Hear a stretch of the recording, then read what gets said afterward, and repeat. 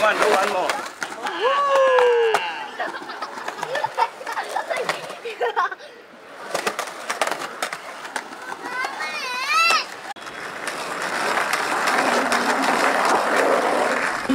How long have you been skateboarding for?